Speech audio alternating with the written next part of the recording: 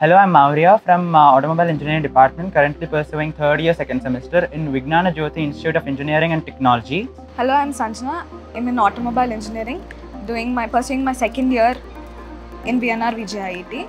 This is a micro car developed by automobile engineering students.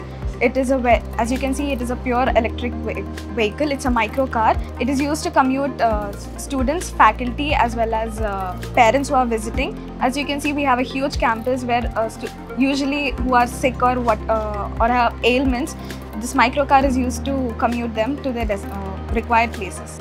This project, this micro car, is developed under the major project.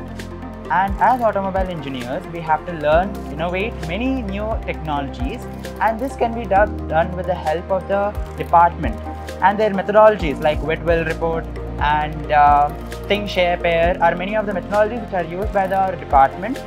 And the teaching faculty are also very well experienced as far with the ongoing technologies. And the syllabus is also so well prepared that we are ready for the future when we step out of the college. And i think this department really has a great future. Thank you